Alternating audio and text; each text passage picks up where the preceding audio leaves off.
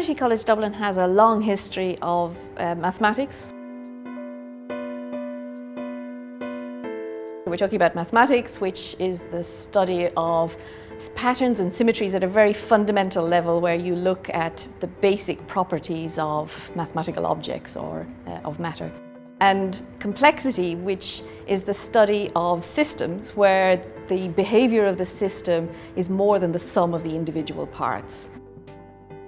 The High Performance Computing Centre came from the maths department. It was a, a spin out from a, a, research project that lived there in the mid 90s.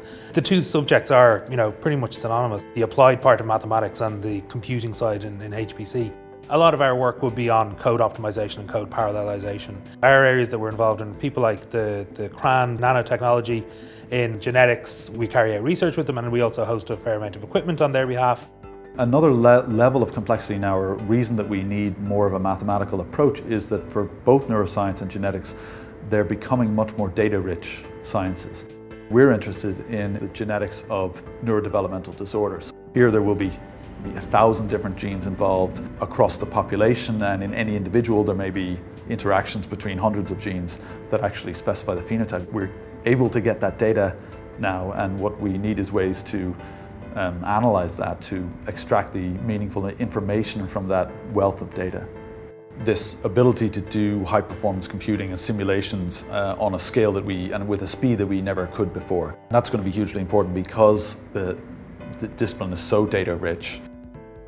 I work in theoretical particle physics, but we try to understand um, the fundamental interactions of the building blocks of nature, these are quarks and gluons, um, through numerical simulation because you simply cannot theoretically make these calculations on pen and paper. New technologies changed our life dramatically and uh, in particular led to uh, new impact of mathematics. What I have been trying to do and uh, managed to understand is that instead of transformations, you look with at operations accepting many arguments. Transformations behave different from numbers.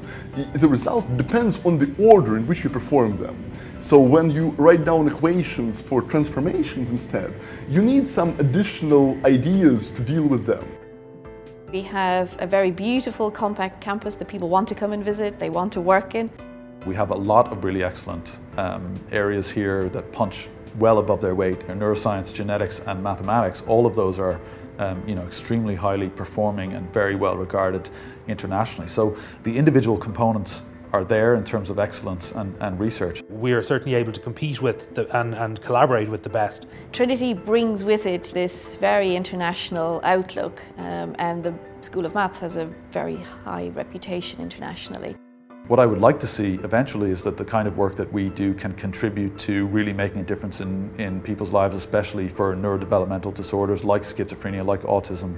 It's almost impossible to predict where basic research will lead and what um, innovations it will lead to, but what's certainly true is that without it, there will be no innovation.